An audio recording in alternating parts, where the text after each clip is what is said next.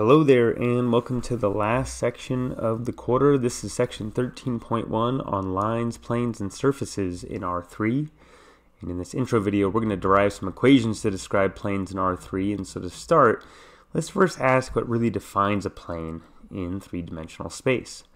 Well, the first thing we need to determine is the orientation of the plane relative to the coordinate axes. And the way we determine that orientation is through what's called a normal vector. Okay, so this is a vector that is orthogonal to our plane. Let me jump over here real quick to spell out in more detail what I'm saying. So if I just specify this vector right here and I say, all right, our plane is orthogonal to this vector. Well, that on its own actually doesn't uniquely identify the plane we're describing, right? It actually identifies an entire family of planes all of which are orthogonal to this vector. However, if I specify a normal vector and a point on the plane, then that singles out which plane in this family I'm describing, and in turn uniquely identifies the plane. Okay, so these two ingredients, a normal vector of the plane, which I'm going to call n and label its components a, b, and c, and a known point on the plane, I'm going to call that point p0, and label its coordinates x0, y0, z0, these two ingredients uniquely identify a plane in R3. Okay, now next step I'm going to go ahead and call the position vector for the point P0 the vector R0. And so this is the vector that has its tail at the origin and its tip at the point P0. And so its components are x0, y0, z0. And now let's go ahead and let the point P be any other point on the plane. And I'm going to label its coordinates x, y, and z. And then we have the position vector for the point P. I'll call that vector R. And its components then are x, y, and z. So now what I'd like to do is relate this point P to these two known quantities, P0 and N. And the key observation there is, is as follows. Okay, so since these two position vectors, R0 and R, have their tips in the plane, this difference vector, r minus r0, is then parallel to our plane. And if it's parallel to our plane, then in particular that implies that it is orthogonal to the normal vector n. And so if I take the dot product of n in this difference vector r minus r0, I will get 0.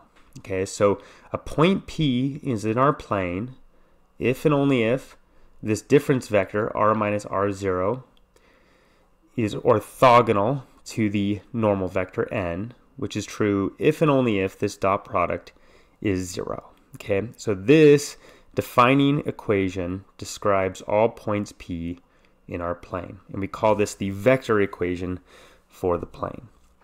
All right, so now if we expand this using components, well, as we noted up here, n in component form is ABC.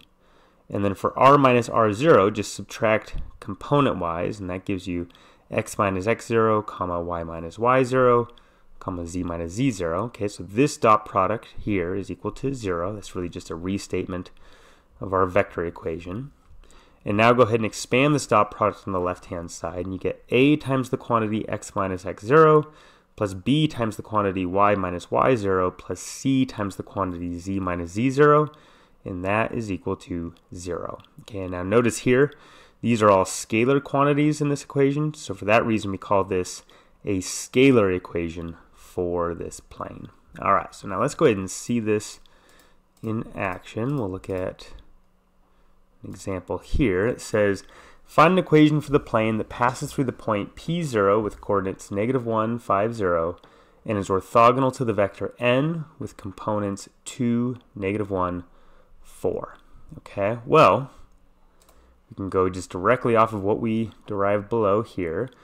So our ABC, right, those are the components of our normal vector, so that's 2, negative 1, and 4. So notice in the scalar equation, those are the coefficients of these quantities here in parentheses, right? So we have 2 times the quantity, then x minus x0. Well, our x0, that's the x coordinate of our known point p0, so that's negative 1, so x minus negative 1. And then we have our b is negative 1, so it's minus quantity y minus y0, so that's y minus 5, plus c, so that'd be 4 times the quantity z minus z0, which is 0.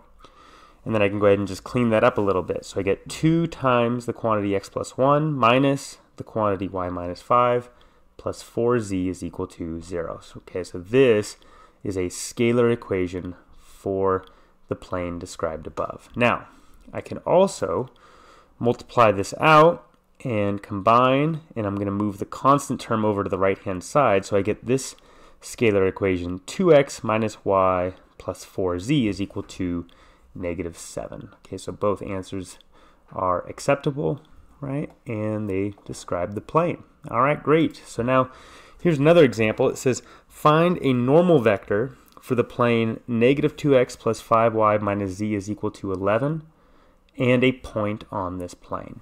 All right, well, for a normal vector, as we see here, right, in our scalar equation derived below, a, B, C, which are the components of the normal vector, these are these coefficients of x, y, and z. So notice in the above example, right, in this equation and in this equation, 2, negative 1, 4, which are the components for our normal vector, show up as the coefficients of x, y, and z.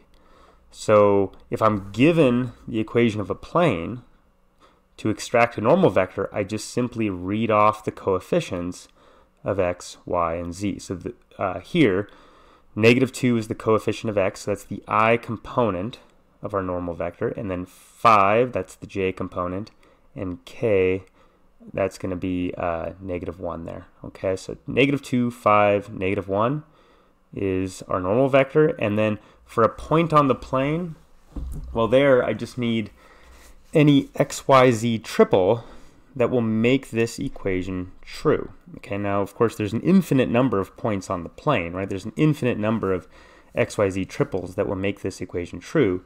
So if I want, right, to generate one point uh, without doing too much work, I'm going to go ahead and just set x and y both to 0. And then I get negative z is equal to 11. So z then would have to be negative 11. So here's a point on the plane. Okay, but I of course could set y and z to both to both be zero, and that would give me what negative 11 halves, comma zero, comma zero. Uh, I could set x and z both to zero.